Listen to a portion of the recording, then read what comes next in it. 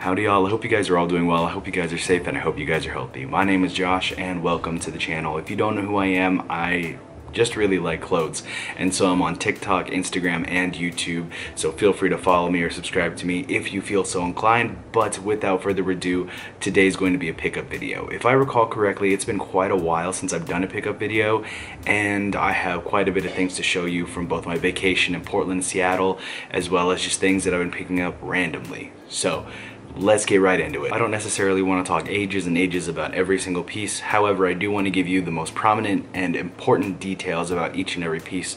Hopefully do an on body for you guys and just kind of give any thoughts or stories related to that item.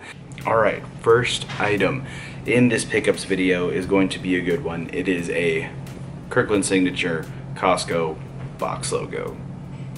Not much to say about it, it's just from Costco. I thought it was funny and so I grabbed one. I really wasn't sure how to organize this video just because I didn't know whether I wanted to go shoes first, shirts, outerwear first, but uh, apologies if this one's going to be a very eclectic collection of random stuff going on. But I guess I'll start from accessories. There's only one accessory that's gonna be in this video, and it's going to be this right here. This is from, I bought it from Portland, from a store called Kiriko, and this, oh, this scarf is just a vintage denim scarf. It's absolutely beautiful. There's different texture throughout the entire piece. And at the bottom it has like some fringing and stuff like that. I saw this and I was like immediately drawn to it because when you like put it on, this looks so cool. The different texture. Usually scarves have a really, really specific pattern to them, but this one is super, super nice and super comfortable, soft, feels great, and I really don't know how, how much I'm gonna wear it, but it is very pretty to look at if I ever happen to want to wear it. So, Kiriko scarf. All right, next up is going to be this shirt that I actually found off of a brand on Instagram. Uh, the brand itself is called Harrow Numan. If I'm mispronouncing it, I'm sorry. But this is just a simple, very wide, cropped long sleeve shirt feels really good. The quality is great. It's kind of hard for me to explain exactly what it feels like on camera, but a very nice basic long sleeve shirt and the main detail about this one is going to be the triple left chest pocket right over here of different sizes. So really cool, super cropped. I have to wear this with high-waisted pants just so it doesn't like, I don't like really showing my belly, but Great shirt nonetheless, feels really good. And yeah, Harrow Numan. Moving on to the next. So when I was in Seattle and on my way back to the train station so that we could head back to our hotel, we passed by this basically these dudes that were setting up racks on the side of the road in Capitol Hill selling vintage clothing and I was like oh okay you know we might as well take a, a peek through and see what's going on and I found this shirt right here it is a vintage Fruit of the Loom tee right there in a size large, which older size larges aren't, you know, today's standard. So I did have to stretch it out just a little bit, but the front graphic change ahead, of course it does have that single stitch on the sleeve as well as on the bottom hem. But what really, really sold me on this shirt is that this is a Stop Asian Hate from 1992. This shirt was like, the fade is great, single stitch, love the messaging, and I got a pretty good deal on it. Sorry, my roommate's cooking in the background here, but this shirt was kind of a must cop for me. Moving on to footwear. I don't have a lot of footwear pickups as of late, but there is a shoe that I wanted to do a dedicated video on and I'm not going to show that in this video but keep an eye out. It's been a while since I've done like a footwear review of something footwear and styling. But the two shoes that I'm going to be including in this video this right here is going to be the Salomon Slide. I don't know the official name for it but this shoe is super super cool. Um, very lounge weary I wanted this to be kind of like my summer slide and so yeah, super lightweight materials up top, has a patch of suede, very, very like long haired suede on the toe cap here. Um, it has a cork insole, which if you don't know, cork insoles after you've kind of imprinted your own footprint into the actual insole by just general wear, feels so much better on your foot because it feels like it's molded to your foot. And so, yeah, Salomon has great traction on bottom and there's not too, too much to say about this shoe. It's super breathable, really good for summer. Um, they're, they're not too, too expensive. They're, I think, uh, 110 to 120 retail. And so I very highly suggest these. They kind of give off a, uh, they look kind of similar to a uh, Salomon BBS collab, but yeah, Salomon slides.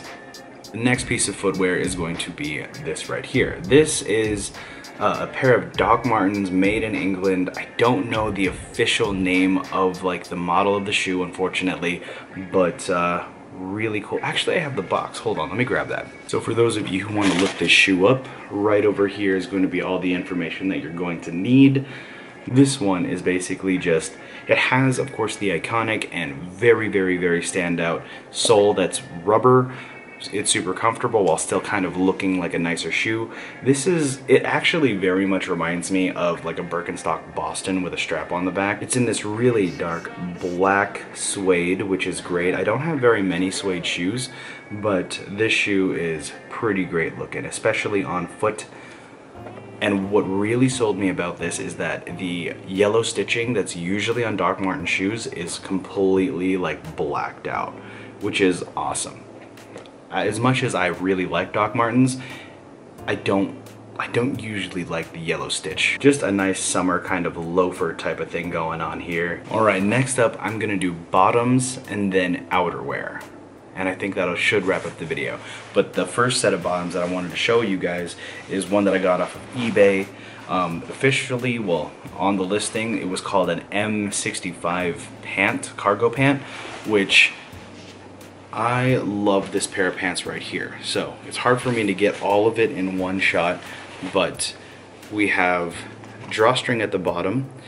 We have mid, like around the thigh tie over here, cargo pocket, and closure pockets right over here, button close pockets.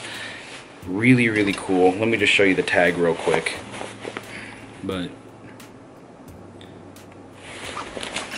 black cargo pants really can't go wrong. I've been putting out a couple of outfits with this particular pant on and yeah, I really highly suggest this one. I've been really looking for a pair of like just really wide baggy cargo pants because I tried on a pair of Balenciaga but I wasn't willing to spend $1,700 for it which I think was the retail price. Um, this one I only spent about $60 after shipping, so I saved myself quite a bit of money, thankfully enough. The next pant is kind of in the same vein. It has it's, just a really baggy pant, uh, military inspired of course, but this is from a brand called, well, a vintage shop on Instagram called Aged Threads. Uh, so shout out to them. This is just kind of like a field pant. It's made of polyester, a synthetic material, so it, it is kind of loud sometimes, but it is kind of water resistant. In a way, it has drawstrings at the bottom so you can cinch up the hem if you like. And it, it's just a very wide, wide leg. The pant has a little bit of darting around the knee section over here for articulation. Of course, those same like closure pockets with Cobrax buttons over here and this is a YKK zip for the fly and a drawstring for the waist. Really, really cool pair of pants. Uh, these were like $95 before shipping and Unfortunately, they don't have the black pair in stock anymore, but it looks like they're going to be coming out with more colors. So definitely keep a lookout. Aged Threads on Instagram. Highly suggest this one. They fit great. Next pair of pants is a pair of pants that I didn't think that I would bother buying, but I bought something from Essentials. Right over here is going to be just a pair of sweatpants from Essentials um, I know Essentials kind of gets a bad rap in the fashion space. Like a lot of people are like, "Ooh, it's really hype beastie," which I mean I can agree with to a certain extent, but I can't deny that this is probably one of the best feeling fleeces that I've ever felt. Walked by a PacSun, saw this uh, pretty much displayed out, and I was like, you know what? it's been a long, long time since I've ever bought anything from Fog Essentials. But uh, let's give it a go. Um, thankfully, this didn't cost too, too much. I don't, I don't, really remember what retail price was, but I was like, oh, you know, let's just do it. Uh, it is the straight leg version of it. So on me, it got a size large. I'm usually like a 33, 34-ish waist now. Um, but yeah, it actually fits pretty nice over like over sneakers and chunky sneakers and stuff like that. So I'm not mad about this purchase, but one thing that I didn't like about this pant is that like right about here on the crotch area, it did have that Fear of God branding. So I just cut it out because I was like, I can't have a brand just over my crotch. That just feels wrong. But I don't know if you can see where I took it off, but yeah, 1977 on the left thigh right there. Just an expensive pair of sweatpants. I actually think the color's really nice. Uh, I think the fit's really good and that's kind of what sold me. But one more ranting thing that I have to say about Essentials. Oh my goodness, I do not like that you cannot try Essentials on in store. I don't know what it is, like apparently when I asked at PacSun, I was not allowed to try anything on. And like I confirmed with other friends and stuff and they were like, yeah, no, they don't let you try it on. It's apparently just a rule. And I was like, I do not like that rule at all. I want to make sure that the thing fits right when I buy it. And so it kind of irked me that I couldn't try it on, but I took a chance with a size large and it worked out for me. So yeah, I'm a size large, 33 to 34 waist, uh, just a pair of essential sweatpants. Next up is a pair of CMMAWEAR Hourglass Cargos. I've been kind of on the hunt for these for a while, but resale price was ridiculous. Up until now, you can actually get them for around close to retail, if not a little bit under retail. But I was able to get this from my friend in Portland, so shout out Tate, I really appreciate it. But CMMAWEAR Cargos. And the amount of detail in this pant is crazy. So when the zipper on the back is completely fastened, it's like a straight leg, yeah, it's like a pretty straight leg pant, but then when you unzip them, it becomes this really nice flare. And over on like the front over here, there's a pocket at the bottom of the leg that you can open and keep whatever you feel like in there. But this pant is so cool. Of course it has a cargo pocket and then on the waist it has kind of waist adjusters too. So great, great pair of pants. Cobrax button, uh, Riri zipper. Well, I got a size large. Like I said, I'm about a 33 to 34 waist. They fit me just fine. Right over here, I'll show you the tag. Mm, but yeah, I do not regret this purchase. Tate gave me a great deal and I love this pair of pants so much. All right, next up is another pickup from uh, Portland. Uh, I got this on 2nd Street, not on 2nd Street, but it's a store called 2nd Street. Great secondhand, uh, secondhand and vintage place to shop. It's in Hawthorne in Portland, but they have a lot, surprising amount of designer stuff uh, there and it's all secondhand so prices are a little bit cheaper albeit it's not the cheapest. You can probably find better deals on Grailed but it's cool to just stumble upon things and Second Street's just a cool place to go. So I got a pair of Rick Owens Dark Shadow drop crotch just drop crotch pants. I mean I'm sure you guys know I love drop crotch pants and these just are dope I had to do a little bit of repairing on the back, but it has the iconic Rick Owens pockets at the back. They're super thin, so they're actually gonna be really solid for um, wear out in summer. And yeah, I think I got these for like a little less than $300, something like that, which for a pair of Rick Owens drop crotch pants is a pretty, pretty good price. And yeah, super excited about this one as well. I keep saying I'm super excited. I mean, like, I wouldn't buy it if I wasn't excited to have it. So these next two pairs of pants that I'm gonna show you guys are from a designer that I have just absolutely fallen in love with. I got originally introduced to this designer in Glasswing, which is a boutique out in Seattle. So shout out Butch. What really, really sold me on this designer is that the silhouettes of um, his pieces are perfectly suited to my body type, which is unheard of. Usually designer things just don't fit me all that well. I'm about 5'9", 5'10", right around 190 to 200 pounds and so like not the tallest man in the world and little stout little stocky but uh, Jan Jan Van clothing fits me absolutely immaculately so let's get into the first pant here we go with this first pant right here. Like the waist is like super super wide but the tag right here I got it from second street of all places. So this is a second hand pant but Jan Jan Van Essche this is from his main line.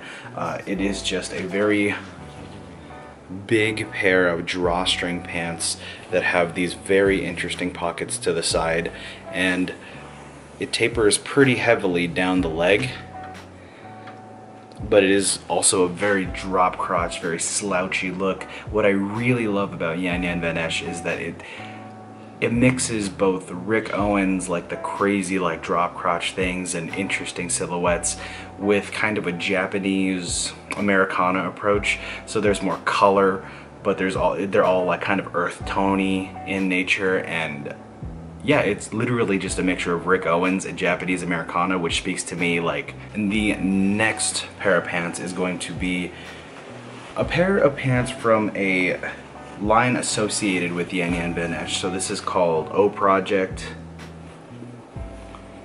I don't know if you can see it all that well. It's like really washed out, but the tag is literally just O. Uh, this pant is a size medium, but a lot of their silhouettes are very like, very, very large so that you can kind of cinch it in and it'll fit better. But this is a pair of denim, really like just wide, wide, wide leg pants. So it has both a drop crotch and a super wide leg, and it's also selvage. So from my understanding, O Project is still by Jan Jan Van Essche, however is made in Japan using usually Japanese material and selvage denim and stuff like that, which is just so great. It has a incorporated belt with that you can like cinch in and just, my goodness this thing when I tried it on I was like I'm sold and albeit it was super expensive but when you find something that like fits your body absolutely perfectly it's really hard to or at least for me it's really hard to refuse on something that basically feels like it was made for my body type which is super rare but yeah Jan Jan Van Essche definitely definitely check this designer out because he is some next level stuff. Next jacket I got in downtown Seattle. In downtown Seattle, there's an Arc'teryx store, and we just so happened to come in, and there was a jacket that I was like, this is really cool. It started to rain quite a bit, which it's not that I wasn't expecting it, especially in the Pacific Northwest, but I was like, you know what, I need a better jacket in case I ever like have to be in the rain. But this jacket right here is an Arc'teryx jacket. Um, it looks like it's from the Veilance line, but it's it's not. It's a mainline Arc'teryx thing, and what I love about it is that the only piece of branding on this jacket is this super tiny Arc'teryx logo on the left shoulder. But I believe the name of the jacket itself is the Acropole. Not 100% sure. A Acropole? I could be wrong but it was something similar to that. And I got a size medium, which I usually never go for a size medium. Usually large is kind of my go-to, but they didn't have a size large in stock. And when I tried it on, I, that day I was wearing some drop crotch Rick Owens shorts and I thought the kind of fitted top, especially like, you know, throughout like up the neck and fitted throughout the shoulders and body mixed with the drop crotch of my Rick Owens shorts at the time, I was like, wait, this just looks really, really cool. And so I had to buy it. And it wasn't all that expensive. Usually Arc'teryx is pretty pricey. This one was like, I think 130 maybe. And the last thing I wanna show you guys in this video is my absolute favorite, favorite item that I have purchased as of late. And I'm so excited to show it to you guys. If you're ever in the downtown Portland area, definitely check out a shop called Nakamuraya. The owner is super, super friendly, super nice, and his, his curation of goods is so very good. They sell anything from like Japanese designers like Undercover and Meanswhile and other things to like vintage stuff and it's a very tiny, tiny, tiny space, but the, the, very few things that he carries is always like so cool. And so this is a Meanswhile jacket. If I'm honest, I don't know very much about Meanswhile, so I'm definitely gonna do have, have to do some research and kind of, you know, delve deeper to appreciate this jacket a little bit more. But uh, I spent a pretty penny on this and I am not regretting it at all. Um, as far as he told me, he was like, oh yeah, as far as I'm aware, this is probably one of the only ones, or the only one in the U.S. And so he he only had one, and this thing is beautiful. So let me show you the tag real quick. Meanswhile right there. And so if we're looking at the front here, it has this life preserver-esque front that is actually a folded in hood. So you can unfold that and it becomes a hood these cargo pockets on the front. Sleeve is super, super wide with these like nylon straps detailed throughout and then a cargo pocket on the right shoulder. More nylon strapping around and the sleeves are kind of this like thermal material so it is like super utilitarian looking it's really really really nice and I don't regret spending a ton of money on this but it is it is also really cropped in the body. Uh, I got a size four. It was the only size he had, the only thing that he carried, and uh, the only thing, the only version of this that he carried in the store. And yeah, man, this thing is beautiful, absolutely beautiful. So this I'm probably the most excited about of all the things that I picked up in this video. And that is just about everything that I can show you guys so far that I picked up as of late. Uh, I'm super, super excited to incorporate these things into my wardrobe and I got a lot of outerwear, which, I mean, it's summer right now and it's incredibly hot in Las Vegas, but uh, I have plenty of time to cycle things out of my wardrobe and replace them with these things. So thank you guys so much for watching. I really appreciate all of your time. Like, comment, subscribe if you feel so inclined, and until my next video, I will catch you guys later.